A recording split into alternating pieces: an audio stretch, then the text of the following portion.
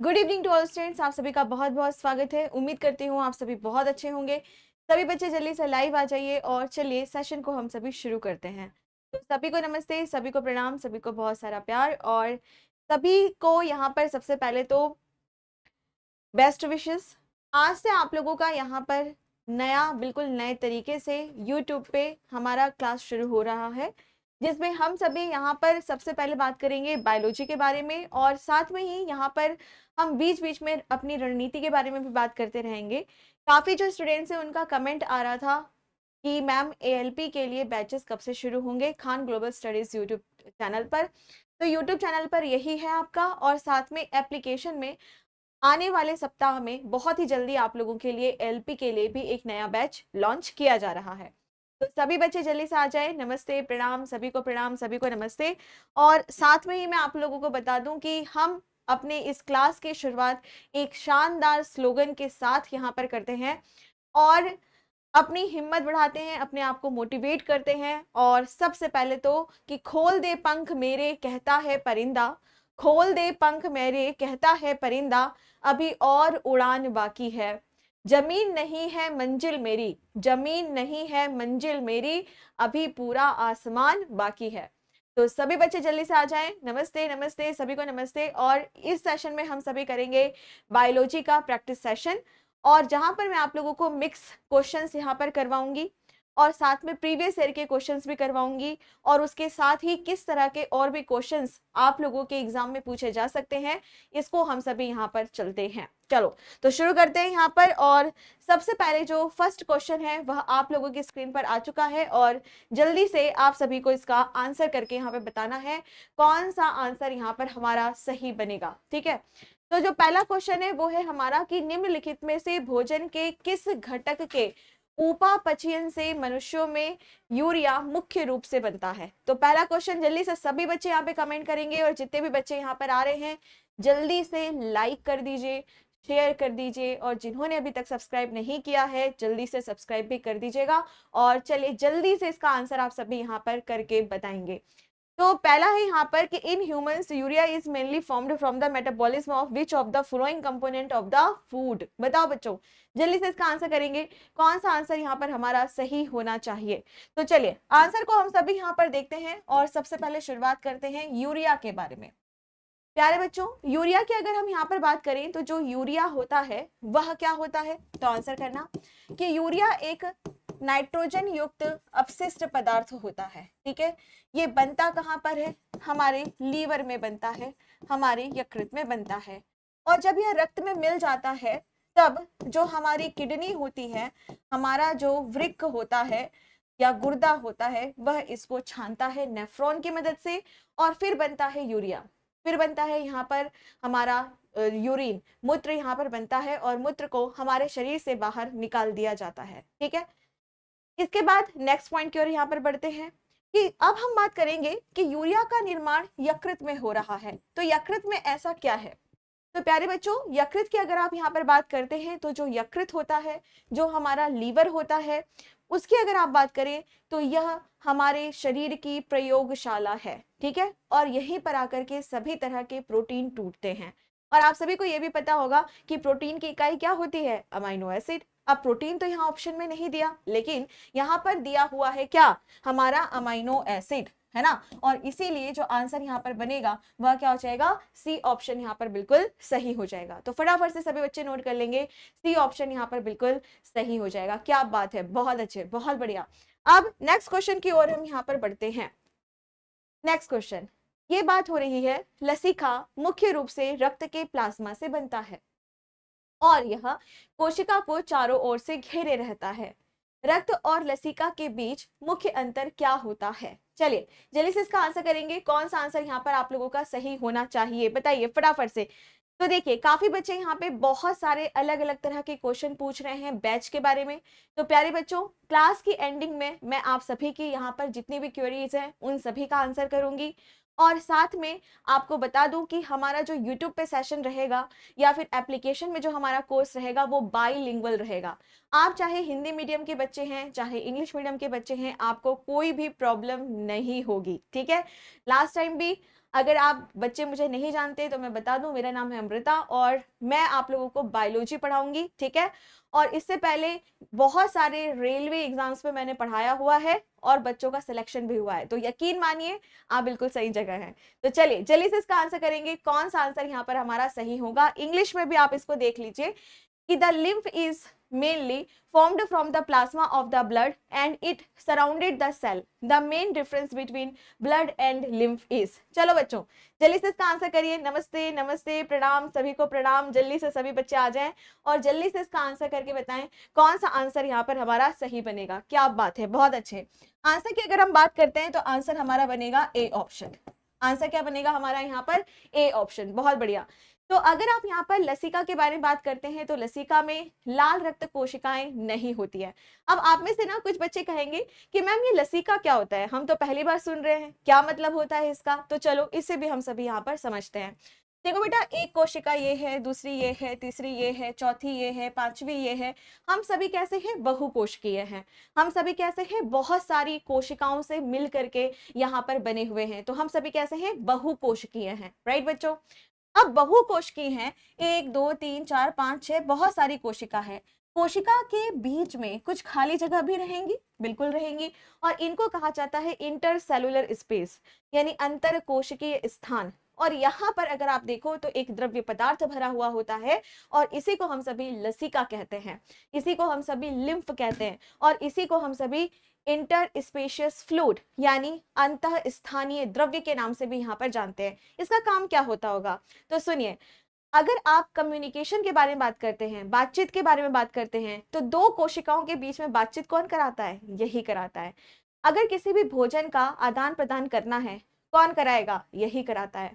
अगर आप गैसों के एक्सचेंज के बारे में बात करते हैं तो कौन कराएगा? लिम्फ ही यहाँ पर कराएगा। और सबसे इंपॉर्टेंट बात कि जो लिम्फ होता है ना, बिल्कुल रक्त की तरह ही होता है, पर उसमें लाल रक्त कणिकाएँ नहीं होती हैं और ये इम्यून सिस्टम का भाग होता है, एक रोग प्रतिरोधक क्षमता का यह भाग होता है, जहाँ पर आप देखेंगे कि बहुत सारे लिम्फ नोड्स यानी लिम्फ गाठें और साथ में ही बहुत सारे अलग अलग तरीके के अंग यहाँ पर कार्यरत होते हैं। जैसे अगर आप स्प्लीन के बारे में बात करते हो स्प्लीन क्या है? प्लीहा है, ठीक है? तो स्प्लीन के बारे में बात करते हैं, प्लीहा के बारे में बात करते हैं तो वो भी इसका एक मुख्य अंग है और ये सभी मिलकर के लसिका तंत्र का निर्माण यहाँ पर करते हैं, ठीक है? चलिए, अब नेक्स्ट क्वेश्चन की ओर हम यहाँ पर बढ़ते हैं। कार्बोहाइड्रेट प्रोटीन और वसा के पाचन के लिए लाइपेज ट्रिप्सिन लाइपेज जैसे एंजाइमों का उपयोग किया जाता है। यह ग्रहणी में श्रावित होता है। काफ़ी अच्छा प्रश्न है, बहुत बढ़िया प्रश्न है। चलिए चलिए इसका आंसर करेंगे कि for the digestion of the carbohydrate protein and fat enzyme such as amylase trypsin lipase are required it is secreted into the duodenum through चलो बच्चों, फटाफट से जल्दी से इसका आंसर करो। क्या बात है, बहुत अच्छे। और आंसर की अगर हम बात करें तो देखो, सबसे पहली बात कि जब हम कार्बोहाइड्रेट का डाइजेशन के बारे में बात करते हैं तो हमें किसकी ज़रूरत होती है? अमाइलेज की। प्रोटीन के पाचन के लिए ट्रिप्सिन और वसा के पाचन के लिए लाइपेज की आवश्यकता यहाँ पर होती है, ठीक है? और ये सभी कहाँ से निकल रहे होते हैं? तो ये सभी के सभी, चाहे आप ट्रिप्सिन के बारे में बात करो एमाइलेज एमाइलेज और खासतौर से ट्रिप्सिन ये कहाँ से निकलता है? तो आंसर आपको करना है कि यह तो पेंक्रियास से निकलता है। किससे निकलता है? अग्नाशय से निकलता है। तो अग्नाशय से ये सभी जो जूस हैं, यह निकल करके कहाँ पर जाते हैं? तो आंसर सीधे सीधे करना, कहाँ पर पहुँच गए? ड्यूडिनम में पहुँच गए। और ड्यूडिनम क्या है बेटा? ड्यूडिनम जो होता है वह छोटी आंत का भाग है। ठीक है? तो आप सभी को ये बात पता होगी कि जब हम छोटी आंत के बारे में बात करते हैं तो छोटी आंत जो होगी, उसके तीन भाग होते हैं। पहला क्या? ड्यूडिनम, जीजनम और एलियम। ठीक है? ओके बच्चों, चलो। अब नेक्स्ट क्वेश्चन की ओर हम यहाँ पर बढ़ते हैं। सभी के क्वेश्चंस का आंसर मैं दूँगी बेटा। अलग अलग तरह से जो आप पूछ रहे हैं, पर क्लास के अंत में, ठीक है? क्लास के अंत में मैं आप सभी से बात करूँगी। चलिए, अब नेक्स्ट व्यायाम या दौड़ने के दौरान मांसपेशियों में लैक्टिक एसिड बनता है। सिंपल सी बात है। और आप सभी को यह बात पता होगा कि जब हम लैक्टिक एसिड के बारे में बात करते हैं बच्चों तो जो लैक्टिक एसिड होता है ना, वो हमारे हाथ पैरों में दर्द पैदा करता है, ठीक है? अब आगे बढ़ते हैं। और पूछ रहा है कि किस लिए बनता है? लैक्टिक एसिड जो बन रहा है, किस वजह से, किस कारण से यह यहाँ पर बनता है? चलिए, जल्दी से इसका आंसर करेंगे पहला। वसा से अतिरिक्त ऊर्जा देने के लिए, फेफड़ों से ऑक्सीजन देने के लिए ग्लूकोज से अतिरिक्त ऊर्जा देने के लिए विटामिन से अतिरिक्त ऊर्जा देने के लिए। चलिए बच्चों जलीसिस कहाँ आंसर करेंगे। कौन सा आंसर यहाँ पर हमारा सही बनेगा? अब देखो, यहाँ पर बात को समझो। प्यारे बच्चों, जब कभी भी हम ग्लूकोज के बारे में बात करते हैं तो जो कुछ भी हम खाते हैं, उससे हमें क्या मिलता है? ग्लूकोज मिलता है। और जो ग्लूकोज हमें यहाँ पर मिलता है, वह हमें एनर्जी देता है। ठीक है? नेक्स्ट, जब हम श्वास लेते हैं तो हम सभी किस तरह का रिस्पायरेशन करते हैं? किस तरह का श्वसन करते हैं? तो आंसर करना है एरोबिक रिस्पायरेशन, वायविक श्वसन, यानी हमें श्वास लेने के लिए ऑक्सीजन की आवश्यकता होती है। ठीक है? अब जब कभी भी हमें ऑक्सीजन की आवश्यकता होती है तो जो ग्लूकोज होता है उसका पूरी तरीके से दहन होता है और दहन करने के बाद हमें बहुत ज़्यादा मात्रा में ऊर्जा मिलती है। लेकिन अगर हम एक्सरसाइज करते हैं हम व्यायाम करते हैं हम दौड़ते हैं हम भारी वस्तुओं को यहाँ पर उठाते हैं तो उस टाइम पर आप देखेंगे कि जितनी ऑक्सीजन की आवश्यकता हमें होती है अगर उतना ना मिले तो जो भी हमारा ग्लूकोज होता है वह किसमें परिवर्तित हो जाता है? पायरिविक एसिड में परिवर्तित हो जाता है। फिर भी हमें और ऑक्सीजन ना मिले, तब यहाँ पर क्या होगा? तो आंसर करना कि ये फिर उसके बाद लैक्टिक एसिड में परिवर्तित हो जाता है। और जो लैक्टिक एसिड होता है बेटा, वो क्या करता है हमें हाथ पैरों में दर्द देता है। ठीक है? तो यहाँ पर क्या किया जा रहा है कि कहीं ना कहीं ग्लूकोज को जलाने के लिए ग्लूकोज से हमें कैलोरी मिले, हमें ऊर्जा मिले, इसी के लिए ये सारी प्रोसेस यहाँ पर की जा रही है। और इसीलिए जो आंसर हमारा बनेगा वह क्या है? सी ऑप्शन हमारा यहाँ पर सही हो जाएगा। कि ग्लूकोज से अतिरिक्त ऊर्जा देने के लिए बार बार बार बार बार बार यह प्रक्रिया यहाँ पर की जा रही है। ठीक है? चलो, अब next question which organelle other than the nucleus in eukaryotic cell has its own DNA ribosome and protein question है। यूकैरियोटिक कोशिकाओं में केंद्रक के अलावा किस कोशिकांग का अपना डीएनए राइबोसोम और प्रोटीन होता है? मैम, आप रेलवे एनटीपीसी का बैच आएगी। मतलब मैं आऊँगी पढ़ाने के लिए। हाँ एएलपी वाले अभी हमारा नया बैच आ रहा है, उसमें बिल्कुल आऊँगी। एनटीपीसी का भी आएगा तो उसमें भी आऊँगी। डोंट वरी ठीक है? और वैसे भी एग्ज़ाम भी आएगा, ठीक है? चलो, अब जल्दी से इसका आंसर करो यहाँ पर। कौन सा आंसर यहाँ पर हमारा सही बनना चाहिए? बताइए, फटाफट से, जल्दी से इसका आंसर करेंगे। कौन सा आंसर यहाँ पर हमारा सही होना चाहिए? क्या बात है, बहुत अच्छे। आंसर जो है, काफ़ी बच्चे यहाँ पे बिल्कुल सही आंसर बता रहे हैं और वो है माइटोकॉन्ड्रिया। क्या हो जाएगा बेटा यहाँ पर? माइटोकॉन्ड्रिया। ठीक है, चलो इसको समझते हैं, ठीक है? माइटोकॉन्ड्रिया को यहाँ पर समझते हैं। प्यारे बच्चों, आप सभी को पता है, पहले तो मुझे सभी बच्चे यहाँ पे फटाफट से बताओ कि डीएनए की फुल फॉर्म क्या होती है। चलो, शाबाश। बताओ बच्चों। सभी बच्चे यहाँ पे बताइए मुझे फटाफट से कि डीएनए की फुल फॉर्म क्या होती है। जल्दी से, फटाफट से। चुटकियों में आना चाहिए आंसर क्या होती है डीएनए की फुल फॉर्म क्या बताएँगे? Deoxyribonucleic acid deoxyribonucleic acid very good बहुत अच्छे।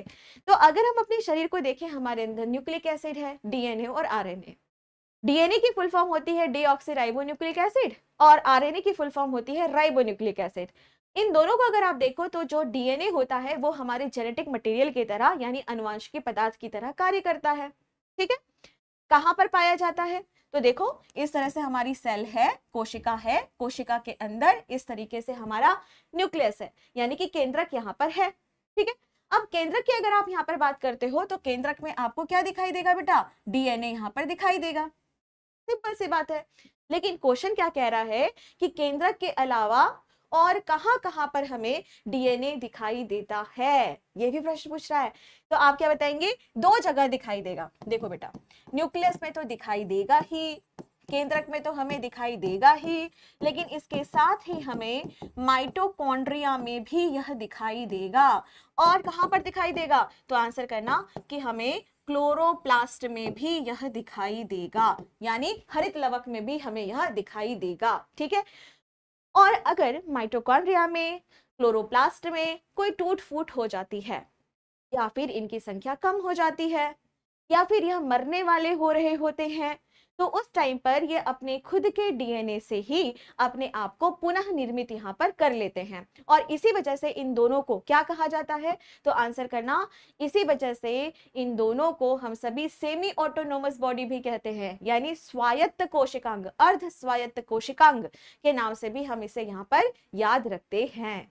ठीक है बच्चों? और आगे वैसे नॉर्मली अगर आप देखो तो जो माइटोकॉन्ड्रिया होता है बच्चों, उसको हम सभी power house of the cell कहते हैं। किसी भी कोशिका का ऊर्जा स्थल के नाम से भी जानते हैं। ठीक है? चलो, अब आगे बढ़ते हैं। नेक्स्ट क्वेश्चन आ जाइए। नेक्स्ट क्वेश्चन कह रहा है कि प्रोटीन संश्लेषण के लिए अमाइनो एसिड को पहचानना और ले जाने का काम कौन यहाँ पर करता है? चलिए, जल्दी से इसका आंसर करेंगे। प्रोटीन संश्लेषण।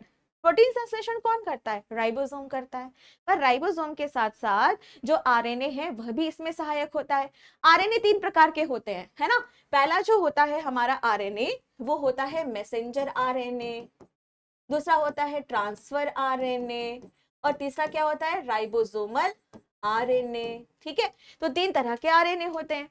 और अब यहाँ पर यह कह रहा है कि यह बताओ, अमीनो एसिड अमीनो एसिड को पहचानना और फिर उसको एक जगह से दूसरी जगह लेके जाने का काम यहाँ पर कौन करता है? चलो बच्चों, जल्दी से इसका बताओ आंसर छठे का कौन सा आंसर यहाँ पर हमारा सही होना चाहिए? और आंसर जो होगा वो क्या है? D option. आंसर क्या हो जाएगा यहाँ पर? D option. तो टी की अगर आप बात करो तो टी का मतलब क्या होता है? ट्रांसफ़र। और ट्रांसफ़र का क्या मतलब है? एक जगह से दूसरी जगह लेकर के जाना। तो अमीनो एसिड को एक जगह से दूसरी जगह लेके कौन जाएगा? सीधी सीधी सी बात है, टी आर एन ए। कौन लेके जाएगा बेटा? टी आर एन ए तो इसीलिए डी आंसर यहाँ पर बिल्कुल सही है। तो अगर आप एम आर एन ए के बारे में बात करते हैं तो यह चुनाव करता है। टी आर एन ए एक जगह से दूसरी जगह लेके जाता है और R R N A protein बनाता है। बस, खत्म। ठीक है? चलो, आगे बढ़ते हैं यहाँ पर। नेक्स्ट। कशेरिकों में किस अंग की कोशिकाओं में चिकनी एंडोप्लाज्मिक रेटिकुलम विषाक्त यौगिकों के विसहरण में महत्वपूर्ण भूमिका निभाती है? चलो, अब यहाँ पर आप कहा जाए हाँ पीडीएफ मिलेगा आपको, ठीक है। तो in vertebrates smooth endoplasmic reticulum in the cells of which organ play a crucial role in detoxification of toxic components या कंपाउंड्स चलो बच्चों, जल्दी से इसका आंसर करेंगे, कौन सा आंसर सही होगा। आप यहाँ पे ना कुछ चीज़ों को समझेंगे। हाँ बेटा, पढ़ सकते हो। आप बी एस एस सी की तैयारी कर रहे हैं तो भी आप पढ़ सकते हैं। वैसे सच बताऊँ, आप किसी भी एग्ज़ाम की तैयारी कर रहे हो, आप यहाँ से आराम से पढ़ सकते हो, क्योंकि यहाँ पर आपको बेसिक बायोलॉजी के क्वेश्चंस करवा रही हूँ तो ये सभी तरह के कॉम्पिटिटिव एग्ज़ाम में आपके लिए हेल्पफुल रहेगा। ओके चलो, अब जल्दी से इसका आंसर करेंगे। आंसर जो इसका होगा, वो है ऑप्शन डी आंसर क्या हो जाएगा? यहाँ पर ऑप्शन डी तो चलो, इसे भी हम सभी यहाँ पर समझते हैं डी क्यों? देखो बच्चों अब अगर आप कशेरुकी प्राणियों के बारे में बात करते हैं तो कौन होते हैं कशेरुकी प्राणी? सिंपल सी बात है, जिनके पास नोटोकॉर्ड होगा, जिनके पास रीढ़ की हड्डी यहाँ पर होगी, और जो हृदय होता है वो सामने की तरफ़ होता है और जो नर्वस सिस्टम होता है, तंत्रिका तंत्र होता है, वो पश्च भाग में होता है, पीछे की तरफ़ होता है, एक नर्व कॉर्ड होता है और पोस्ट एनल टेल यानी पूछ वाली हड्डी भी यहाँ पर हमें देखने के लिए मिलती है, ठीक है? तो इन सभी को हम क्या कहते हैं? कशेरुकी प्राणी। क्या आप कशेरुकी प्राणी हो? आंसर हाँ है। हम सभी कशेरुकी प्राणी हैं, ठीक है? दूसरे नंबर पर बात कि कशेरुकी प्राणी की अगर बात करो तो कशेरुकी प्राणी में सबसे बड़ी ग्रंथि कौन सी होती है? तो सीधे सीधे आंसर करना है। कौन सी ग्रंथि होती है? हमारी लीवर होती है, यकृत यहाँ पर होती है। और यकृत की अगर आप बात करते हैं तो इसे हमारे शरीर की प्रयोगशाला भी कहते हैं। तो जितने तरह का टॉक्सिसिटी यहाँ पर होगी, जितने तरीके से टॉक्सिक सब्सटेंस यहाँ पर बनेंगे, विष वाले पदार्थ बनेंगे जो प्रोडक्शन होगा, वो कहाँ पर होगा? लीवर में ही होगा।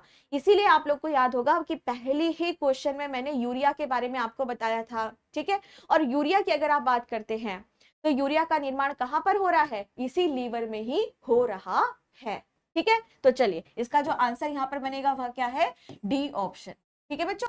डी ऑप्शन चलो। अब नेक्स्ट क्वेश्चन की ओर यहाँ पर बढ़ते हैं। एंजाइम उत्प्रेरक प्रतिक्रिया की दर किसके ऊपर निर्भर करती है? चलिए बच्चों, जल्दी से इसका आंसर करेंगे यहाँ पर। हाँ अंकित आप यहाँ से पढ़ सकते हैं। बताइए, फटाफट से जल्दी से इसका आंसर करेंगे कि यहाँ पर the rate of an enzyme catalysed reaction depends. अगर आप यहाँ पर एंजाइम्स के बारे में बात करते हो तो उनके काम करने की जो प्रक्रिया होती है, जो दर होती है, उसे कौन यहाँ पर बढ़ाता है? चलिए, जल्दी से इसका आंसर करेंगे, कौन सा आंसर यहाँ पर हमारा सही बनेगा? अब देखो बच्चों, यहाँ पर आपको कुछ चीज़ें ध्यान रखनी पड़ेंगी। सबसे पहले तो एंजाइम्स के बारे में। ये एंजाइम क्या होता है? आप सभी ने पाचन तंत्र में अलग अलग तरह के एंजाइम्स पढ़े होंगे, बायोटेक्नोलॉजी में भी पढ़े होंगे और माइक्रोबायोलॉजी में भी पढ़े होंगे एंजाइम्स। पर एंजाइम्स होता क्या है? तो यहाँ से एक क्वेश्चन और आता है कि जब हम एंजाइम के बारे में बात करते हैं तो इसे कहा जाता है बायो कैटलिस्ट क्या कहा जाता है? बायो कैटलिस्ट और हिंदी में अगर हम बात करें तो जैव उत्प्रेरक के रूप में इसको जाना जाता है। ठीक है? नेक्स्ट यहाँ पर बात आती है कि जब हम जैव उत्प्रेरक के बारे में बात करें, इसका मतलब हमारे शरीर में बहुत सारी मेटाबॉलिक एक्टिविटी हो रही है, बहुत सारी उपापचयन की प्रक्रियाएँ यहाँ पर हो रही हैं तो वो क्या होती हैं? आप सो रहे हो, जाग रहे हो, खाना खा रहे हो, पढ़ रहे हो या मस्ती कर रहे हो, ठीक है? कुछ भी आप कर रहे हो। तो यह कैसे हो रहा है? क्योंकि हमारे शरीर में बहुत सारी बायोकेमिकल रिएक्शन यानी जैव क्रियाएँ चलती रहती हैं, जिसको हम सभी कहते हैं उपापचयन की प्रक्रिया यहाँ पर चलती रहती है, ठीक है? और जब ये प्रक्रिया यहाँ पर चलती हैं तो ये वाइटल एक्टिविटी हैं, ये जीवंत क्रियाएँ हैं, जिनका होना ज़रूरी होता है एनाबॉलिक कैटाबॉलिक है ना? होना ज़रूरी है, कुछ बनेगा, कुछ टूटेगा, कुछ बनेगा, कुछ टूटेगा। तो ये जो इक्वेशन हो रही है, ये जो केमिकल रिएक्शन यहाँ पर चल रही है, इस केमिकल रिएक्शन को जल्दी जल्दी होना है, इसकी दर यहाँ पर बढ़नी चाहिए। तो बस सिंपल सी बात है कि जो एंजाइम होता है, वह एक कैटलिस्ट की तरह काम करता है, एक उत्प्रेरक की तरह यहाँ पर काम करता है, ताकि जो भी यहाँ पर रिएक्शन चल रही है, वो बहुत तेज़ी से यहाँ पर हो सके। ठीक है? ओके बच्चों, अब बात करते हैं कि ये जो एंजाइम होता है इसमें कौन कौन से ऐसे फैक्टर होते हैं जो इसकी सहायता करते हैं? ताकि जल्दी से जल्दी यहाँ पर क्या हो सके? रिएक्शन यहाँ पर हो सके? तो आपको आंसर करना है यहाँ पर पहला नंबर कि यहाँ पर डिपेंड करता है कि जिस सबस्ट्रेट की हम बात कर रहे हैं, जिस पदार्थ की अगर हम बात कर रहे हैं, उसका कंसंट्रेशन कैसा है? उसका तापमान कैसा है? और उसका पीएच कैसा है? ठीक है बच्चों? चलो तो इसका जो आंसर यहाँ पर बना, वह क्या हो गया? ए ऑप्शन यहाँ पर बिल्कुल सही सही हो गया। Upon the substrate concentration temperature and pH ठीक है? ओके बच्चों, समझ आ गया? चलो, अब नेक्स्ट क्वेश्चन की ओर यहाँ पर बढ़ते हैं। तो इंग्लिश मीडियम वाले बच्चे भी कुछ आए हैं, है ना? बड़े परेशान हैं तो चलो, अभी ये क्वेश्चन तुम्हारे लिए पहले इंग्लिश में चलाते हैं। तो both starch and glycogen are made up of the glucose however both starch and glycogen are made up of glucose however चलो, अब आ जाओ हिंदी मीडियम वाले बच्चे। हालाँकि स्टार्च और ग्लाइकोजन दोनों ग्लूकोज से बने हुए होते हैं, पर फिर भी कुछ ना कुछ तो अंतर होता है। तो चलो, जल्दी से बताओ। पहला जो ऑप्शन है, वो है स्टार्च यकृत में मौजूद होता है और ग्लाइकोजन लाल रक्त कोशिकाओं में मौजूद होता है। दूसरा है ग्लाइकोजन पशु कोशिकाओं में बनता है, लेकिन स्टार्च पौधों की कोशिकाओं में बनता है। फिर तीसरा ऑप्शन है स्टार्च और ग्लाइकोजन दोनों पशु और पौधों की कोशिकाओं में मौजूद होते हैं। और चौथा ऑप्शन है स्टार्च और ग्लाइकोजन दोनों केवल पादप कोशिकाओं में होते हैं। चलिए चलिए से बताइए इसका आंसर क्या होगा? क्या बात है very good very good very good बहुत अच्छे, बहुत बढ़िया। आंसर की अगर हम यहाँ पर बात करें तो आंसर क्या हो जाएगा? बी ऑप्शन आंसर क्या हो जाएगा? बी ऑप्शन बहुत बढ़िया। तो प्यारे बच्चों, अगर हम ग्लूकोज के बारे में बात करते हैं तो ग्लूकोज हमारे लिए क्या है एक सेलुलर फ्यूल कोशिकीय ईंधन। हमारी कोशिका कब काम करेंगी? जब उसको खाना मिलेगा। तुम कैसे काम करते हो? जब तुमको खाना मिलता है, तब काम करते हो ना? ठीक है एनर्जी मिलेगी तभी तो तुम्हें। तो बिल्कुल उसी तरीके से जब कोशिका की हम बात करते हैं तो कोशिका को भी एक ईंधन की आवश्यकता है, एक भोजन की आवश्यकता है। वो क्या होगा? ग्लूकोज। ठीक है? ग्लूकोज की अगर आप बात करो तो हमारे शरीर में सबसे ज़्यादा पाए जाने वाला कार्बोहाइड्रेट कौन सा है? तो आंसर करना है ग्लूकोज। ठीक है? और साथ में ही मैं आपको बता दूँ अभी गर्मियाँ आ रही है ना तुम्हारा पेपर देखना गर्मी के टाइम पे ही होंगे। गर्मियाँ आ रही है ना तो गर्मियों में क्या होगा? अरे, मैं तो थक गई, अरे, मैं तो थक गया राइट फिर उसके बाद मम्मी क्या कहेगी? या आप क्या करोगे? ग्लूकोन डी लोगे, ठंडा पानी लोगे, उसमें दो चम्मच, एक चम्मच ग्लूकोन डी अच्छे से घोल के पी जाओगे। फिर थोड़ी देर बाद क्या देखोगे? पाँच दस मिनट बाद बिल्कुल ताजगी आ जाएगी, ताजगी का एहसास आ जाएगा। राइट बच्चों? आपको एनर्जी मिल जाएगी। थोड़ा काम करने के लिए तो मिल ही जाएगी। ऐसा तो नहीं कहोगे कि, अरे, मैं तो मर ही गया। अरे, मैं क्या करूँ? है ना? थोड़ी एनर्जी तो मिल जाएगी। तो इसी वजह से जब हम बात करते हैं किसके बारे में? ग्लूकोज के बारे में। तो ग्लूकोज क्या दे रहा है? आपको एनर्जी यहाँ पर दे रहा है। ठीक है? अब नेक्स्ट अब मान लो कि ग्लूकोज ज़्यादा मिल गया। मान लो कभी कभी हम क्या करते हैं? खाना खाते नहीं है, ठूसते हैं राइट तो मान लो अगर आपने यहाँ पे ज़रूरत से ज़्यादा खाना खाया या फिर आपने खाना खा के आप कुछ भी फ़िज़िकल एक्टिविटी नहीं कर रहे हो, पड़े हुए हो, है ना? ऐसे फ़ोन चला लिया है, अरे मैडम तो पढ़ा रही है, बस चलाते जाओ चलाते जाओ, चला रहे हो, ठीक है? और यहाँ पर आप क्या देख रहे हो कि आप कोई फ़िज़िकल एक्टिविटी नहीं कर रहे हो, ना आप एक्सरसाइज करते हो, ना आप सैर करते हो, ना आप कोई कोई घर का काम करते हो, कुछ नहीं, बस लेटे खा रहे लेटे खा रहे और मोबाइल चला रहे हैं, उससे क्या होगा? उससे यह होगा कि ज़्यादा से ज़्यादा ग्लूकोज आपके शरीर में इकट्ठा होता चला जाएगा, ठीक है? और जब ज़्यादा से ज़्यादा ग्लूकोज आपके शरीर में इकट्ठा होता चला जाएगा तो फिर ये क्या होगा? स्टोर होगा। कैसा होगा यह? स्टोर यहाँ पर होगा। कहाँ पर स्टोर होगा? तो आंसर करना है कि हमारे शरीर में या फिर हम किसी भी एनिमल, किसी भी जंतु के बारे में बात करते हैं तो हमारे शरीर में यह लीवर में, यानी कि यकृत में स्टोर होता है। और किस रूप में स्टोर होता है बेटा? ग्लाइकोजन के रूप में स्टोर होता है। तो इसीलिए मान लो, अगर आप एक बार खाना नहीं खा रहे, मान लीजिए पूरे दिन भर में आपने एक बार खाना नहीं खाया, ठीक है? तो ऐसा थोड़ी कि हम मर जाते हैं, या पूरे दिन भर आपने व्रत रखा है, फास्ट में हो आप तो ऐसा थोड़ी है कि हो गया। ऐसा नहीं होता ना, ज़िंदा हो। हाँ थोड़ी सी कमज़ोरी महसूस होती है, सिर में दर्द हो सकता है, पेट में दर्द हो सकता है, बीपी लो हो सकता है, पर हम मरेंगे नहीं। क्यों? क्योंकि ये जो ग्लाइकोजन है ना, यही धीरे धीरे से धीरे धीरे से किसमें चेंज होता रहता है? ग्लूकोज में चेंज होता रहता है और हमें शक्ति देता रहता है।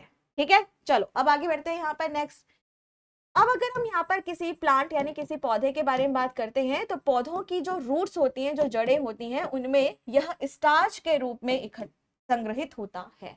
ठीक है? समझ आ गया? क्लियर है? चलो, अब नेक्स्ट क्वेश्चन की ओर हम यहाँ पर बढ़ते हैं। आगे चलते हैं। नेक्स्ट यहाँ पे कुछ वायरस संक्रमणों में प्लेटलेट्स की संख्या तेज़ी से कम हो जाती है। प्लेटलेट्स आवश्यक हैं क्योंकि चलो बच्चों जल्दी से इसका आंसर करेंगे। अब देखो कुछ वायरल इंफेक्शन ऐसे होते हैं हमें जैसे कि मान लो डेंगू। डेंगू किसकी वजह से होता है? कमेंट करके बताओ फटाफट से। देखते हैं। डेंगू कि, किसकी वजह से होता है बेटा? मच्छर की वजह से अभी बताओ मच्छर बनाती हूँ अभी मैं। डेंगू किसकी वजह से होता है? वायरस वायरस वायरस वायरस की वजह से होता है। डेंगू वायरस की वजह से होता है, बहुत अच्छे। पर फैलता किसकी वजह से है? वाहक क्या होता है? तो आंसर करेंगे एडीज मॉस्किटो वेरी गुड बहुत अच्छे। एडीज मॉस्किटो वेक्टर होता है वेरी गुड और होता किसकी वजह से है? वायरस की वजह से। सबसे ज़्यादा जो पहचान होती है कि किसी को डेंगू हो गया, वह क्या है? कि भाई प्लेटलेट्स का गिरना शुरू हो जाएगा। तो अगर आप नॉर्मली देखो तो डेढ़ लाख से लेकर के साढ़े तीन lakh platelets per millimetre cube of blood होता है राइट बच्चों? और उसमें अगर प्लेटलेट्स की संख्या गिरती चली जा रही है, गिरती चली जा रही है तो साफ़ समझ जाइए कि यहाँ पे सबसे पहले जो अंदाज़ा आप लगाओगे वह क्या? कि भाई डेंगू है है ना? तो अब यहाँ पे कह रहे हैं कि चलो ठीक है, डेंगू हो गया। अब बात कह कही जा रही है कि प्लेटलेट्स की आवश्यकता हमारे शरीर को क्यों होती है? बताइए जल्दी से इसका आंसर करिए। बताइए जल्दी से इसका आंसर करिए। वेरी गुड रक्त का थक्का जमाने के लिए। क्या बेटा? रक्त का थक्का जमाने के लिए। तो प्लेटलेट्स की अगर हम बात करते हैं तो जो प्लेटलेट्स होता है, वह ब्लड क्लॉटिंग कराने में मदद करता है। खून का थक्का जमाने में मदद करता है। और जल्दी से मुझे यहाँ पे बता दो कि ऐसे कौन से प्रोटीन होते हैं जो प्लेटलेट्स की मदद करते हैं खून का थक्का जमाने के लिए? बताओ, जल्दी बताओ। क्या बात है, बहुत अच्छे, बहुत बढ़िया। पहला होता है यहाँ पर फाइब्रिनोजन प्रोटीन पहला होता है फाइब्रिनोजन प्रोटीन, ठीक है? फाइब्रिनोजन प्रोटीन कहाँ पर पाया जाता है यह? प्लाज्मा में, ब्लड प्लाज्मा में पाया जाता है और यह खून को जमाने में मदद करता है। इसके अलावा थ्रम्बिन, इसके अलावा थ्रम्बिन भी, ठीक है? चलो, अब आगे नेक्स्ट पॉइंट की ओर यहाँ पर बढ़ते हैं, आगे यहाँ पर चलते हैं। आगे हम जब बात चलेंगे तो आता है यहाँ पर विटामिन के ठीक है? इसके अलावा अगर आप देखते हो कैल्शियम आयन, ठीक है? इसके अलावा हमारा प्लेटलेट्स तो है प्लेटलेट्स तो है, जिंदाबाद, ठीक है, प्लेटलेट्स। और इन सभी के अगर आप यहाँ पर बात करते हो तो ये सभी के सभी सभी के सभी ब्लड क्लॉटिंग कराने में यहाँ पर मदद करते हैं। ठीक है क्लियर है बच्चों? समझ आ गया यहाँ तक? चलो, अब नेक्स्ट पॉइंट की ओर यहाँ पर बढ़ते आगे चलते नेक्स्ट क्वेश्चन निम्नलिखित में से कौन सा पौधे के विभज्योतक की कोशिकाओं का सबसे अच्छा प्रतिनिधित्व करता है? काफ़ी अच्छा प्रश्न है। सघन कोशिका द्रव्य पतली कोशिका भित्ति बड़े केंद्रक और रिक्तिकाओं की अनुपस्थिति। क्या यहाँ पर आंसर होगा? चलो, जल्दी से इसका आंसर करो, जल्दी से इसका आंसर करो। ठीक है, मनीष, यहाँ पे आ जाना। ठीक है, बच्चों, जल्दी से इसका आंसर करो। कौन सा आंसर यहाँ पर आपका सही बनेगा? बताइए, जल्दी से इसका आंसर करिए। जल्दी से इसका आंसर करिए, कौन सा आंसर यहाँ पर हमारा सही बनेगा? इंग्लिश में भी? ठीक है, ये रहा बेटा, इंग्लिश में। Which of the following best represent the cell of the मेस्टमेटिंग of the plant चलो बच्चों, जल्दी से इसका आंसर करेंगे। कौन सा आंसर यहाँ पर आपका सही बनेगा? क्या बात है, बहुत अच्छे। ए ऑप्शन बनेगा? ठीक है। थोड़ा सा एक्सप्लेन कर देती हूँ, है ना? काफ़ी बच्चों को नहीं समझ आ रहा है ये क्वेश्चन थोड़ा सा एक्सप्लेन कर देती हूँ। कोई बात नहीं, देखो। देखो बच्चा, क्या होता है? ये जो आपका प्रश्न है, वो है बॉटनी का। ठीक है? बॉटनी में भी जो प्लांट टिश्यू होते हैं, पादप ऊतक होते हैं, उनके ऊपर यह प्रश्न पूछा गया है। पादप ऊतक की अगर आप यहाँ पर बात करो तो जिस तरह से हमारे अंदर ऊतक होते हैं ना, जैसे हमारे अंदर यहाँ पर ऊतक होते हैं, बिल्कुल वैसे ही जो पेड़ पौधे होते हैं, उनके पास भी ऊतक होते हैं। ऊतक क्या होता है? टिश्यू क्या होता है? ग्रुप ऑफ़ द सेल्स कोशिकाओं का समूह। तो कोशिका क्या है? हमारे शरीर की सबसे छोटी इकाई है। हमारा शरीर कोशिका से ही बना हुआ है। और जब बहुत सारी कोशिका एक साथ मिल जाती है, कोई विशेष कार्य वह करने लग जाती है, तब हम उसको कहते हैं ऊतक, यानी कि टिश्यू। और ऊतक के अध्ययन को कहते हैं हिस्टोलॉजी। ठीक है? अब यहाँ पर बात आती है बिल्कुल ऐसे ही जो पेड़ पौधे होते हैं, उनमें भी कोशिका है। और बहुत सारी कोशिका से मिलकर के क्या यहाँ पर बना? हमारा ऊतक यहाँ पर बना। ठीक है? अब ऊतक की अगर आप यहाँ पर बात करते हो तो जो ऊतक होता है पौधों के अंदर, वह दो भागों में सबसे पहले बांटा जाता है, ठीक है? पहला जो पार्ट आता है, पहला जो भाग आता है, वो है मेरिस्टमेटिक टिश्यू, और जिसको हम सभी हिंदी में कहते हैं विभज्योतक ऊतक, ठीक है? ये ऐसे ऊतक होते हैं जो सेल डिवीज़न करते हैं, जो यहाँ पर कोशिका विभाजन करते हैं बस इनका काम क्या होता है? सेल डिवीज़न करो सेल डिवीज़न करो सेल डिवीज़न करो। कोशिका विभाजन करते रहो। और ये कहाँ पर पाए जाएँगे? तो जो भी पौधा होगा ना तो पौधे का जो सबसे ऊपर तने का भाग होगा और जो जड़ होगा, उसके सबसे नीचे का भाग होगा। ताकि जो पेड़ की लंबाई है, चौड़ाई है, वो अच्छे से यहाँ पर बढ़ सके। और इसी को हम सभी क्या कहते हैं? मेस्टमेटिक टिश्यू ठीक है, अनुराग? ओके यहाँ तक समझ आ गया? अब दूसरे नंबर पर जो आता है वो है हमारा परमानेंट टिश्यू। परमानेंट टिश्यू, जिसको हम सभी कहते हैं यहाँ पर स्थायी ऊतक। अब स्थायी ऊतक का मतलब है कि अगर ऐसे ऐसे यहाँ पर ऊतक जो अब सेल डिवीज़न नहीं कर रहे हैं, जो अब यहाँ पर कोशिका विभाजन नहीं कर रहे हैं, और अब ये यहाँ पर क्या काम करेंगे? कुछ काम करेंगे, कुछ फ़ंक्शन यहाँ पर करेंगे, कोई काम यहाँ पर करेंगे। और इसकी भी अगर हम बात करें तो ये कुछ होते हैं सिंपल यानी कि सरल ऊतक, और कुछ होते हैं कॉम्प्लेक्स यानी कि जटिल ऊतक। सिंपल की अगर आप बात करो तो पैरनकाइमा कोलेनकाइमा स्क्लेरनकाइमा ये किसके उदाहरण होते हैं? सिंपल के। और कॉम्प्लेक्स की अगर आप बात करो तो जाइलम और फ्लोयम क्या? जाइलम और फ्लोयम ठीक है? और आप सभी को पता है कि जो जाइलम होता है, वो जल और मिनरल्स का परिवहन करता है। और फ्लोयम की अगर आप बात करते हो तो यह भोजन का परिवहन करता है। ठीक है? तो जब हम मेस्टमेटिक टिश्यू के बारे में यहाँ पर बात करते हैं तो जो मेस्टमेटिक टिश्यू होता है, वह कैसे कोशिकाओं का बना है? जिनमें बहुत ही कोशिका द्रव्य सघन होता है, बहुत ज़्यादा होता है। ठीक है? पतली कोशिका भित्ति होती है बड़े बड़े केंद्रक होते हैं, और उनमें रिक्तिका अनुपस्थित होती है। ठीक है? चलिए, अब आगे नेक्स्ट क्वेश्चन की ओर यहाँ पर बढ़ते हैं। फ्लोयम ऊतक अधिकतर परिवहन के लिए जिम्मेदार होता है। देखो, अभी तुरंत समझाया था। तुरंत समझाया था मैंने, और जितने भी स्टूडेंट्स यहाँ पर आए हैं डेली आपकी ये क्लास होगी। ऐसा नहीं है। मैंने देखा है कि जब पहली क्लास होती है ना, बच्चे बिल्कुल ऐसे भाग के आते हैं, जैसे कि लंगर लगा हो, ठीक है? जैसे कि पार्टी चल रही हो राइट बच्चों? और फिर उसके बाद धीरे धीरे करके गायब हो जाते हैं। तो मैं यहाँ पे बता दूँ, आज जितने बच्चे यहाँ पर हैं उतने ही बच्चे मुझे रोज चाहिए, उससे ज़्यादा बच्चे चाहिए, ठीक है? और ये क्लास ना बहुत शानदार होने वाली है धीरे धीरे और आप कोई भी कॉम्पिटिटिव एग्ज़ाम की तैयारी कर रहे हैं, सबके लिए यह क्लास बहुत इंपॉर्टेंट है, ठीक है? चलो, अब जल्दी से इसका आंसर करो कि फ्लोयम टिश्यू का क्या यहाँ पर कार्य होता है? और आंसर क्या हो जाएगा यहाँ पर हमारा कि यह भोजन को फ़ूड को, भोजन को, खाने को एक जगह से दूसरी जगह लेकर के जाता है। जबकि जाइलम की अगर आप बात करते हो बच्चों तो जो जाइलम होता है ना, वह क्या काम करेगा? तो आंसर करना कि जाइलम जो होता है, वह मिनरल्स और जो पानी होता है, उसका परिवहन यह करता है। ठीक है? एक बात और ध्यान रखिएगा, आज मैं बहुत ही बेसिक क्वेश्चंस करा रही हूँ। फिर धीरे धीरे क्या होगा? हमारा लेवल बढ़ेगा। ठीक है? तो पहले बेसिक क्वेश्चन फिर थोड़ा सा हार्ड फिर थोड़ा सा हार्ड और फिर एकदम आपको क्या कर दिया जाएगा? ज़ीरो से हीरो बना दिया जाएगा, ठीक है? तो डेली क्लास में आना है और यकीन मानिए, अगर आप डेली क्लास करते हो ना बेटा, ये वाली भी। आराम से सिलेक्शन होगा, आराम से। चलो, अब नेक्स्ट क्वेश्चन। कह रहा है, निम्नलिखित में से किस जानवर का हृदय चार कक्षीय होता है? यानी which one of the following animal has a four chambered heart four chambered heart अब यहाँ पर हम बात करेंगे कि आप यह बताइए कि ऐसा कौन सा यहाँ पर पशु है, जानवर है, जिसका हृदय चार कक्षीय होता है? पहला, नागराज। हाँ वही नाग, किंग, कोबरा, ठीक है। दूसरा, कछुआ, गिरगिट, मच, मगरमच्छ। क्या यहाँ पर आंसर होगा? क्या बात है, बहुत अच्छे, बहुत बढ़िया। आंसर जो हो जाएगा वो है मगरमच्छ। यानी कि डी ऑप्शन यहाँ पर बिल्कुल सही होगा। अब एक बात को आपको समझना है। अगर आप चारों ऑप्शन को देखो तो चारों के चारों ऑप्शन किसके हैं? रेप्टाइल्स के हैं। ये सभी के सभी सरीसृप हैं। ये सभी के सभी क्या है बेटा? सरीसृप है। सभी के सभी, ठीक है?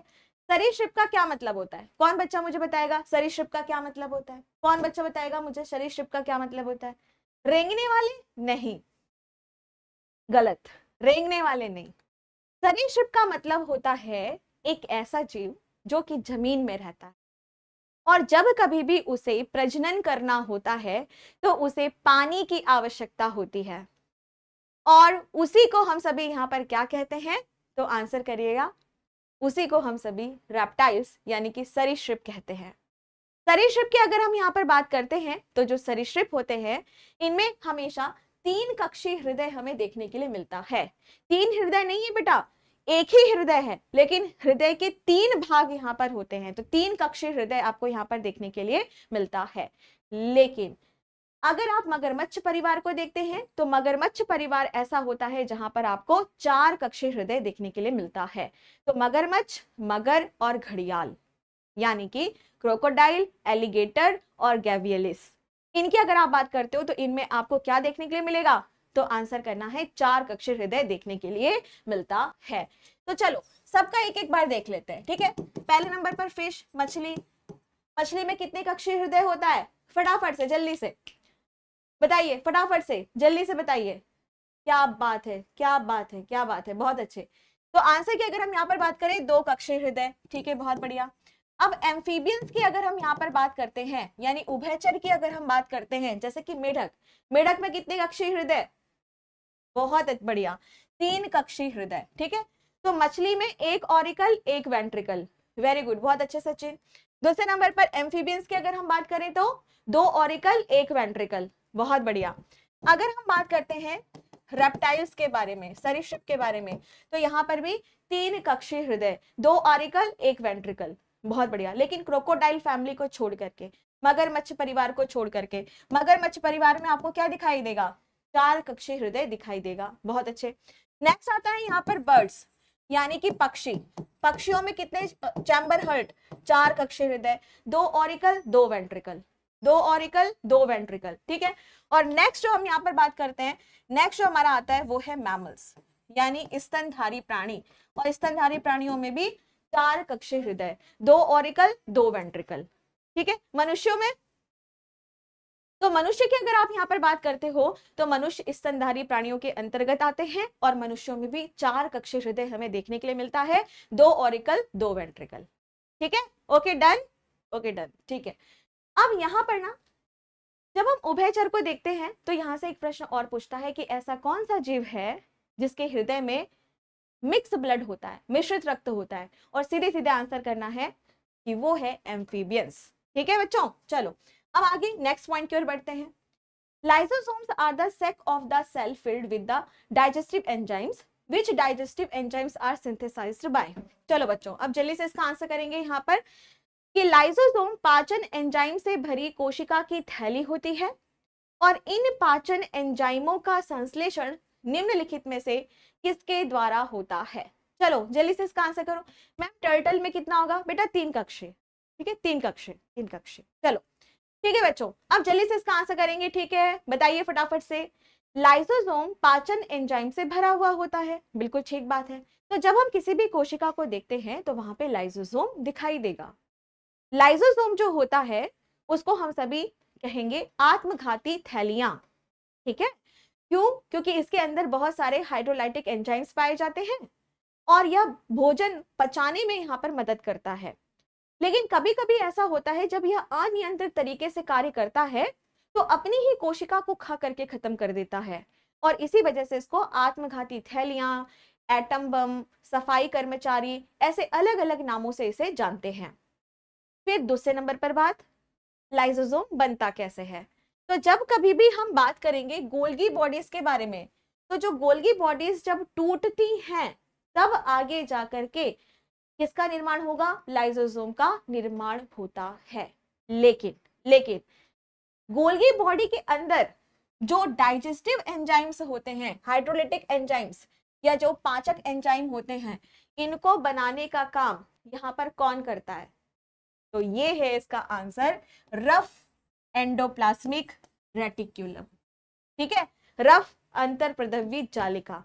एक ऐसा अंत प्रदवी जालिका एक ऐसा एंडोप्लाज्मिक रेटिकुलम जिसमें राइबोसोम्स चिपके हुए होते हैं और यही लाइसोसोम के अंदर डाइजेस्टिव एंजाइम को बनाने में मदद करती है और खुद बहुत ज़्यादा मात्रा में प्रोटीन बनाने का काम करती है। ठीक है? क्या कह रहे हो? मोए मोए हो गया? चलो ठीक है। ओके कोई बात नहीं। अब नहीं होगा। एग्ज़ाम में नहीं होना चाहिए। ठीक है? एग्ज़ाम में मोए मोए नहीं होना चाहिए। चलो बच्चों तो इसका जो आंसर यहाँ पर बनेगा वो क्या है? सी ऑप्शन चलिए, अब नेक्स्ट क्वेश्चन नेक्स्ट क्वेश्चन है which of the following combination correctly represent the genetic material in prokaryotic and eukaryotic respectively यहाँ पे क्या कह रहा है? तो आंसर करना कि निम्नलिखित में से कौन सा संयोजन क्रमशः प्रोकैरियोटिक और यूकैरियोटिक में अनुवांश की सामग्री का सही प्रतिनिधित्व करता है? चलो बच्चों, जल्दी से इसका आंसर करेंगे। कौन सा आंसर यहाँ पर आपका सही होना चाहिए? बताइए, फटाफट से, जल्दी से इसका आंसर करेंगे। बताओ, जल्दी, बढ़िया, फटाफट से। तो देखिए, पहला है हमारा यहाँ पर यूकैरियोटिक और दूसरा है यहाँ पर प्रोकैरियोटिक ठीक है? अब देखो बच्चों सेल की अगर हम बात करते हैं, कोशिका की हम बात करते हैं, कोशिका दो तरह की होती है प्रोकैरियोटिक यूकैरियोटिक इस दुनिया में सबसे पहले बनने वाली कौन सी थी? प्रोकैरियोटिक थी और फिर धीरे धीरे धीरे धीरे जब विकास होता चला गया तो यूकैरियोटिक यहाँ पर बनी। प्रोकैरियोटिक की अगर हम बात करें तो इसे हम आदिम कोशिका कहते हैं, क्योंकि ये सबसे पहले बनी। कोई खास डेवलपमेंट इनमें नहीं हुआ होगा, ठीक है? और यूकैरियोटिक की अगर हम बात करें तो यह एक विकसित कोशिका है। दोनों में जो मुख्य अंतर होता है वह होगा केंद्रक और केंद्रक के चारों तरफ़ जो केंद्रक झिल्ली होती है उसका, ठीक है? प्रोकैरियोटिक की अगर आप यहाँ पर बात करते हो तो इनमें केंद्रक के चारों तरफ़ केंद्रक झिल्ली का अभाव होता है जबकि दूसरी तरफ़ अगर हम बात करते हैं यू के बारे में तो जो यू होता है, इसमें आप देखोगे केंद्रक के चारों तरफ़ केंद्रक झिल्ली बहुत ही अच्छे से बनी हुई होती है। तो मुख्य अंतर केंद्रक झिल्ली का ही होता है। ठीक है? नेक्स्ट अगर आप यू के बारे में बात करते हैं तो इसमें आपको एक केंद्रक दिखाई देगा। केंद्रक के चारों तरफ़ न्यूक्लियर मेम्ब्रेन यानी केंद्रक झिल्ली दिखाई देगा और इसके अंदर आपको डीएनए बहुत ही अच्छे से लगा हुआ दिखाई देगा। पर जो डीएनए होता है ना, वो हमेशा किस तरह से बना हुआ होता है? तो आंसर करना है क्रोमेटिन के रूप में होता है, जिसको हम सभी क्रोमेटिन धागे के रूप में यहाँ पर जानते हैं। क्रोमेटिन धागे क्या होते हैं बच्चों? तो जैसे हम सभी को पता है कि हमारा जेनेटिक मटेरियल क्या है? डीएनए है। और जब यह डीएनए हमारे, जब डीएनए हमारे इस तरह से हिस्टोन प्रोटीन से आकर के बंध जाता है तो वो बनाता है न्यूक्लियोसोम और जब बहुत सारे न्यूक्लियोजोम आपस में मिल जाते हैं, तब वह क्या बनाते हैं? क्रोमेटिन धागे। और जब सेल डिवीज़न यहाँ पर करना होता है तो यही डीएनए क्रोमोजोम के रूप में परिवर्तित हो जाता है, गुणसूत्र के रूप में परिवर्तित हो जाता है। ठीक है? अब एक बच्चे ने पूछा है कि मैम, रेलवे टेक्नीशियन, बायोलॉजी और केमिस्ट्री नहीं आती क्या? आती है। ठीक है?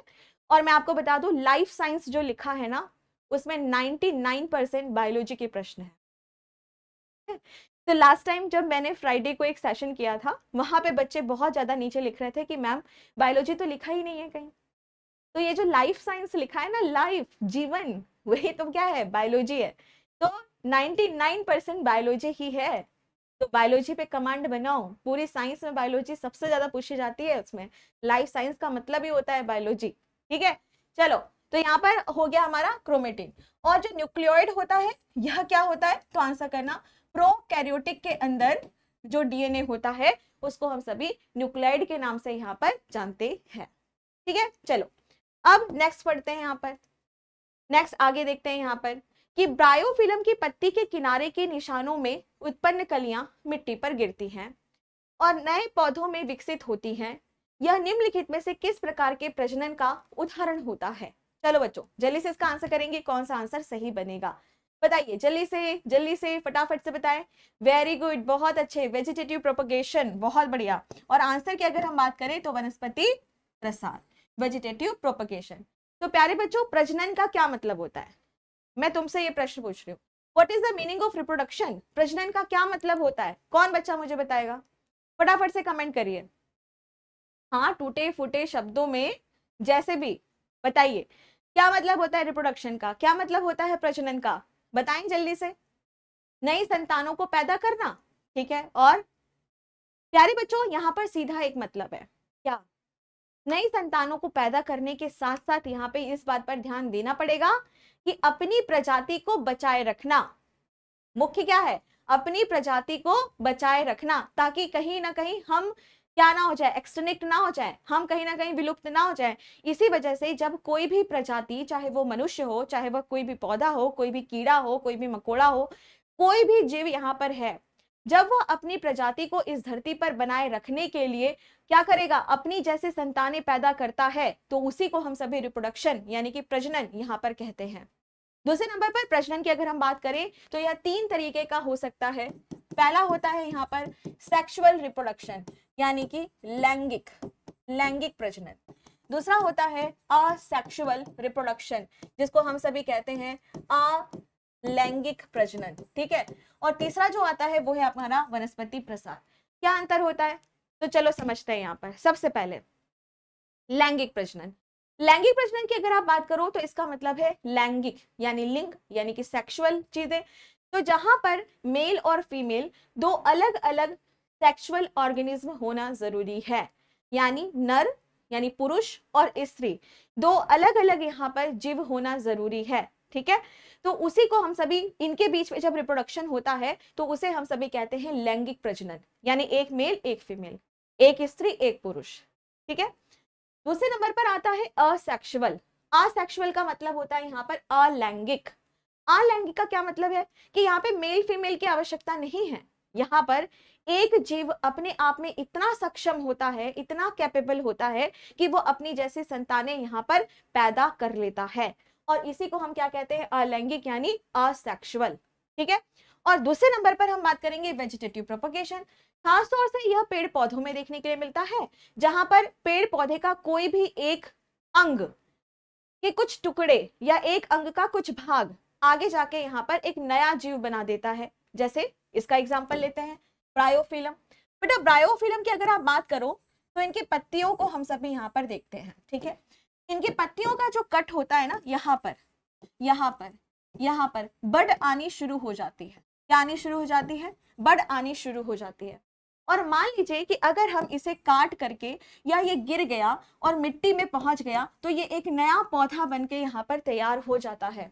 और इस तरह के प्रसार को, इस तरह के रिप्रोडक्शन को, इस तरह के प्रोपगेशन को हम सभी क्या कहते हैं? वनस्पति प्रसार के नाम से यहाँ पर जानते हैं। ठीक है? चलो, अब नेक्स्ट क्वेश्चन नेक्स्ट क्वेश्चन यहाँ पर. वे जीव जो उच्च नमक सांद्रता वाले आवास में रहना पसंद करते हैं, उन्हें किस नाम से यहाँ पर हम जानते हैं? The organism that prefer high salt concentration habitat refers to as चलो बच्चों, जल्दी से इसका आंसर करिए, कौन सा आंसर यहाँ पर आपका सही बनेगा? पहला है यहाँ पर एल्कलीफिली यानी क्षार प्रेमी, दूसरा है कैल्सीफ्यूज फिर है हेलोफाइट्स फिर है नाइट्रोफाइल नाइट्रोफिल्स चलो बच्चों, जल्दी से इसका आंसर करेंगे, कौन सा आंसर हमारा यहाँ पर सही होना चाहिए? बताइए, फटाफट से जल्दी से इसका आंसर करें। बताओ बताओ, जल्दी बताओ। वेरी गुड आंसर क्या हो जाएगा? हेलोफाइटा या हेलोफाइट हेलोफिल्स जो भी आप बोलना चाहें, ठीक है? हेलोफिल्स का मतलब होता है जहाँ पर सॉल्ट यानी खारापन होता है, ठीक है? तो मिट्टी में जहाँ पर खारापन आपको महसूस होगा या जहाँ का पानी खारा होगा, जैसे कि समुद्री इलाका या समुद्री के आसपास का तटीय प्रदेश तो वहाँ पर जो पेड़ पौधे उगते हैं, उनको हम सभी हेलोफिल्स के नाम से यहाँ पर जानते हैं। जबकि क्षार प्रेमी का मतलब हो गया जहाँ पर एल्कलीन है, जहाँ पर मिट्टी पे आप देखोगे कि क्षार की मात्रा ज़्यादा है है ना? दूसरे नंबर पर कैल्सीफ्यूज जहाँ पर कैल्शियम की मात्रा ज़्यादा है, और नाइट्रोफिल्स मतलब जहाँ पर मिट्टी में नाइट्रोजन की मात्रा ज़्यादा होती है। ठीक है? चलो, अब नेक्स्ट क्वेश्चन की ओर यहाँ पर हम बढ़ते हैं। अब हम यहाँ पर बात करेंगे, फ़सल की किस्मों में वांछित लक्षणों को शामिल करने का एक तरीका, संकरण होता है। ठीक है? इस प्रक्रिया में अनुवांशिकी रूप से भिन्न पौधों के बीच संकरण होता है। ओके? निम्नलिखित में से कौन सा क्रॉसिंग संकरण को संदर्भित नहीं करता है? अब कहोगे, मैम, ये तो दिमाग ऊपर से चला गया, ये क्या था? है ना? ये क्या था? इंग्लिश में दिखाते हैं इसको पहले, फिर उसके बाद अच्छे से इसको समझ, समझते हैं, मैं समझाती हूँ। इंग्लिश में देखते हैं। कह रहा है on the way of incorporating desired characters into the crop variety is hibernation ठीक है? हाइब्रिडाइजेशन सॉरी सॉरी हाइबरनेशन नहीं हाइब्रिडाइजेशन तो चलो, अब इसे हम सभी यहाँ पर समझते हैं, ठीक है?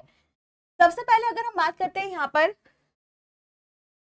संकरण के बारे में, या फिर हम सभी बात करते हैं यहाँ पर हाइब्रिडाइजेशन के बारे में तो इसका क्या मतलब होता है? तो इसका मतलब एक प्रजाति का पौधा ये है और दूसरी प्रजाति का पौधा ये है। दो अलग अलग प्रजाति के पौधे के बीच में, दो अलग अलग प्रकार के बीच में अगर हम सभी रिप्रोडक्शन करवाते हैं या क्रॉस करवाते हैं तो जो नया जीव बनकर के यहाँ पर तैयार होता है, उसे हम सभी कहते हैं संकर, ठीक है? और इस प्रोसेस को हम सभी कहते हैं संकरण, यानी कि, ठीक है, संकरण, समझ आ गया? अब जैसे कि मान लो, आप सभी ने खच्चर का नाम सुना है? आप सभी ने खच्चर का नाम सुना है? ठीक। खच्चर जो होता है, वह घोड़ा और गधे से बनता है। ठीक है? घोड़ा बिल्कुल अलग प्रजाति है और गधा बिल्कुल अलग प्रजाति है। ठीक है? और उनका अगर उनके बीच में हम क्रॉस करवा देते हैं तो क्या बन के तैयार हो गया? खच्चर बन के तैयार हो गया। बिल्कुल अलग राइट तो बिल्कुल ऐसे ही सेम चीज़ ना बेटा डिजायर्ड तरीके से। अगर आप किसी पौधे के बारे में बात करते हो, और पौधे में हमें यहाँ पर क्या चाहिए? पौधे में हमें यहाँ पर चाहिए कि भाई हमें एक ऐसा पौधा दो जो कि कीड़ों से बच करके रहे और उससे हमें खूब विटामिन मिले, खूब मिनरल्स रहे, मिले, कुछ प्रोटीन हमें मिले। और फिर हम उस टाइम पे क्या करेंगे कि दो अलग अलग पौधों के बीच में संकरण यहाँ पर करवाएँगे और इससे हमें एक बिल्कुल बढ़िया तरीके का पौधा मिलेगा जिससे हमें लाभ पहुंचेगा। तो ये कितने तरीके का हो सकता है? कैसे कैसे हम इसको कर सकते हैं? तो चलो समझते हैं। पहला जो होता है वो है इंटर वेराइटल इंटर वेराइटल का मतलब क्या हो गया? वेराइटी अलग अलग हो सकती है। जैसे मान लीजिए, फूल की हम बात करते हैं तो गुलाब का फूल हमें चाहिए बिल्कुल रेड कलर का, सुंदर सा, और बहुत ही बड़ा, बड़ी पत्तियों वाला चाहिए। तो वेराइटी अलग अलग हो सकती है, उनके बीच हम करा सकते हैं। दूसरा इंटर स्पेसिफिक जिसकी प्रजाति अलग अलग हो, उनके बीच में भी हम करा सकते हैं। इंटरजेनिक, जिनका वंश अलग अलग हो। जेनिक मतलब जीनस, वंश अलग अलग हो। उसमें भी हम करवा सकते हैं, कोई दिक्कत नहीं है। लेकिन यहाँ पर जो डी ऑप्शन दिया हुआ है, इंट्राजेनिक, ये दिक्कत है। यहाँ पर जो दिया हुआ है क्या आपका? अंतर गर्भाशयी ये यहाँ पर दिक्कत है। क्योंकि अभी तक अगर हम संकर के बारे में बात करते हैं, अगर हम सभी यहाँ पे हाइब्रिडाइजेशन के बारे में बात करते हैं तो गर्भाशयी, ऐसा कुछ नहीं है। लेकिन हाँ यहाँ पर आपको क्या ध्यान में रखना है? कि अगर मनुष्यों के बारे में बात करते हो, ठीक है? तो मनुष्यों की अगर आप यहाँ पर बात कर रहे हो तो मनुष्यों में आईवीएफ होता है, लेकिन अभी तक फूलों, फ़सलों और प्लांट पौधों, इनके लिए अभी तक ये सब चीज़ें नहीं बनी है, ठीक है?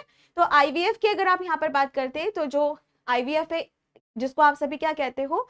इंट्रा विट्रो फर्टिलाइजेशन ठीक है जिसको आप सभी टेस्ट ट्यूब बेबी बोलते हो तो वहाँ पे गर्भाशय वगैरह की आवश्यकता पड़ती है। पर वो संकरण नहीं है ना वो क्या है यहाँ पर कि टेक्नोलॉजी के माध्यम से यहाँ पर किसी को प्रेग्नेंट किया जा रहा है किसी दंपति को बे, बेबी दिया जा रहा है ठीक है? तो वो थोड़ा सा अलग हो जाता है ठीक है? चलो अब आगे बढ़ते हैं नेक्स्ट नेक्स्ट निम्नलिखित में से कौन सा अंग जंतु कोशिका में नहीं पाया जाता है? चलिए बच्चों जल्दी से इसका आंसर करेंगे। कौन सा आंसर यहाँ पर हमारा सही बनेगा? बताइए फटाफट से। जल्दी से बताइए। निम्नलिखित में से कौन सा अंग जंतु कोशिकाओं में नहीं पाया जाता है? हाँ ये फ्री क्लास रहेगी, आपकी फ्री क्लास चलेगी। डेली चलेगी पाँच बजे से पौने छह छह बजे तक। डेली आपको क्लास में आना है लेकिन, ठीक है? और जितने भी बच्चे आए हुए हैं, जल्दी से इस सेशन को लाइक कर दीजिए और जल्दी से इसका आंसर करिए। कौन सा आंसर यहाँ पर आप लोगों का सही होना चाहिए? बताओ, फटाफट से। क्या बात है, बहुत बढ़िया, बहुत अच्छे। और आंसर जो हो जाएगा वह क्या है यहाँ पे हमारा? सेल वॉल, कोशिका भित्ति। तो प्यारे बच्चों, जब कभी भी हम लोग किसी भी जंतु कोशिका और पादप कोशिका के बारे में बात करते हैं तो उनमें जो सबसे पहला अंतर होता है, वो है कोशिका भित्ति, यानी कि सेल वॉल का। ठीक है? जो पादप होंगे, उनमें आपको सेल वॉल दिखाई देगा जबकि अगर आप बात करते हैं जंतु कोशिका के बारे में तो वहाँ पर सेल वॉल नहीं होता है। चलिए नेक्स्ट क्वेश्चन निम्नलिखित में से किस पौधे के उतकों में बड़े वायु स्थान होते हैं? बहुत अच्छा प्रश्न है। पहला है यहाँ पे स्क्लेरनकाइमा विभज्योतक एरन एरेनकाइमा। चलो बच्चों, जल्दी से इसका आंसर करेंगे। कौन सा आंसर यहाँ पर आपका सही होगा? स्क्लेरनकाइमा मेस्टमेम मेरिस्टेम फिर है यहाँ पे कोलन कोलनकाइमा, फिर है एरेनकाइमा। क्या यहाँ पर आंसर आपका सही बनेगा? आंसर की अगर हम यहाँ पर बात करते हैं तो आंसर क्या हो जाएगा? एरेनकाइमा नाम से ही पता चल रहा है। एरेनकाइमा तो अगर हम किसी भी एक्वेटिक प्लांट को देखते हैं, यानी अगर हम किसी भी जलीय पौधे को देखते हैं, जैसे हम बात करते हैं लोटस के बारे में, या कमल, है ना? या फिर हम बात करते हैं जलकुंभी के बारे में, ठीक है? तो वहाँ पर आप क्या देखोगे कि जो यह जलकुंभी होता है यह जो यहाँ पर कमल का फूल होता है इनकी पत्तियाँ होती हैं, क्या वह पानी में डूब जाती है? नहीं, वो पानी में यहाँ पर नहीं डूबती है, ठीक है? वो क्या होंगी? फ्लोटिंग करती रहेंगी, वो तैरती रहेंगी, ठीक है? और जब वो यहाँ पर तैरती रहती हैं तो उनको किस नाम से यहाँ पर जाना जाता है? एरन काइमा। क्या कहा जाता है? एरन काइमा, ठीक है? तो इसको आप कैसे याद कर सकते हो? एरन, एयर एयर एयर, हवा, ठीक है? एयर हवा, ठीक? तो अगर आप यहाँ पर बात करते हैं एरन काइमा के बारे में तो इसका साफ़ यहाँ पर मतलब होता है कि किसके बारे में बात हो रही है? एक ऐसा ऊतक जो यहाँ पर क्या काम करेगा? हवा में मतलब ऊपर उठने, रहने में, पानी में, पानी से ऊपर हवा में, रहने में यहाँ पर मदद करेगा। ठीक है? ओके बच्चों, समझ आ गया यहाँ तक? चलो, अब नेक्स्ट क्वेश्चन की ओर यहाँ पर बढ़ते हैं और नेक्स्ट क्वेश्चन है हमारा which one of the following is not a connective tissue इनमें से कौन सा यहाँ पर कनेक्टिव टिश्यू नहीं है? और ये है आपका होमवर्क ये क्योंकि सरल है, सबसे सरल प्रश्न है। सबसे सरल प्रश्न है। तो सभी बच्चे यहाँ पर क्या करेंगे? जब आपका यह क्लास खत्म हो जाएगा, उसके बाद आप सभी बच्चे मुझे यहाँ पर कमेंट करके बताएँगे कि इसका आंसर क्या है। ठीक है? चलिए तो आज के सेशन को हम सभी इतना ही रखते हैं। उम्मीद करती हूँ कि सभी को बहुत अच्छे से समझ आया होगा। डेली ये क्लास होगी। तो जितने बच्चे यहाँ पर आए हैं, एक प्रॉमिस करो अपने आप से, मुझसे, कि कल इस क्लास में आप सभी ज़रूर आएँगे और निराश नहीं करेंगे, मुझे खास तौर पर, कि भाई पहला दिन है तो चलो, चलते हैं, सभी पार्टी करेंगे वहाँ पे, है ना? चलो जरा घूम के आते हैं, क्या मामला ऐसा नहीं। बेटा, पढ़ाई इंपॉर्टेंट है और पढ़ाई के लिए ऐसा नहीं होता कि जब आपका एग्ज़ाम है, तब आप दस दिन पहले, पंद्रह दिन पहले, एक महीने पहले, डेढ़ महीने पहले पढ़ रहे हो और आपका सिलेक्शन हो जाएगा। नहीं, धीरे धीरे धीरे धीरे धीरे धीरे करके ही आपके दिमाग में चीज़ें स्टोर होती हैं। ठीक है? ओके बच्चे? चलिए तो कल मिलते हैं। आप सभी तब तक अपना ख्याल रखिए। इसका आंसर सभी बच्चे कमेंट बॉक्स में करेंगे ज़रूर। और कल मैं बताऊँगी कि इतने बच्चों ने सही आंसर यहाँ पर किया। तो thank you so much take care bye जय हिंद, जय भारत।